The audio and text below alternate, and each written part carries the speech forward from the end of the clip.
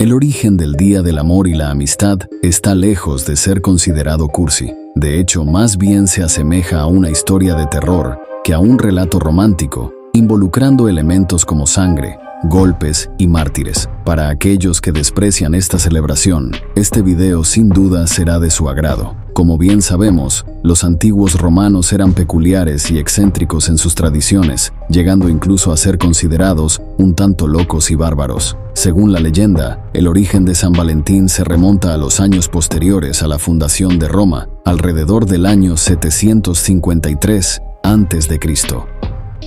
Entre el 13 y el 15 de febrero se llevaba a cabo el festival conocido como Lupercalia. En esta época a las mujeres no se les obsequiaba chocolates y flores, sino que se les azotaba para aumentar la fertilidad. Entrando en detalles, estos días estaban dedicados al fauno Luperco, quien, según la leyenda, adoptó la forma de una loba, Luperca, y amamantó a los fundadores de Roma, Rómulo y Remo. ¿Te contaron alguna vez esta versión en tus clases de historia de primaria?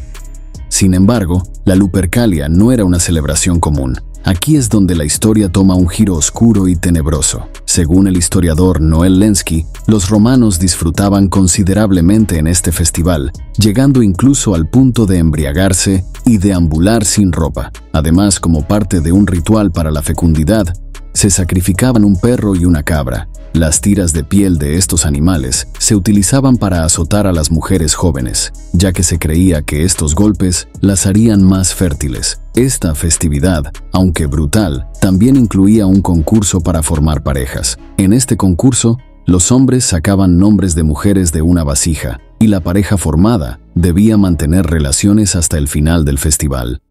Otro dato poco romántico sobre este día es posible que los antiguos romanos también sean responsables del nombre moderno de la celebración, ya que privaron de la vida a un hombre llamado Valentín.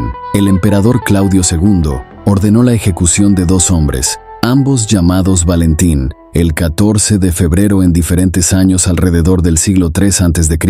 Debido a que fueron mártires, la Iglesia Católica los canonizó como santos, dando inicio a la celebración del Día de San Valentín. Pero, ¿Cómo evolucionó esta festividad en el día más romántico del año? Según ciertos autores, el Día de los Enamorados surgió como una iniciativa del Papa Gelasio I, quien en su afán de eliminar la celebración de las Lupercales o Lupercalia, sustituirían esa fiesta por un día en honor a San Valentín. De este modo, se sustituyó una festividad pagana, las Lupercales, por una cristiana. Dramaturgos como Shakespeare y poetas como Chaucer endulzaron la celebración en sus obras, transformándola en un día dedicado al amor y al romance. Así fue como ganó popularidad en toda Europa y posteriormente en el Nuevo Mundo. Después de saber esto, ¿tú qué opinas sobre esta celebración? Espero te haya gustado este video. Te habla Calpa y te saludo desde la noche misteriosa. Suscríbete y activa la campanita para que sepas cuando suba más videos. Muchas gracias.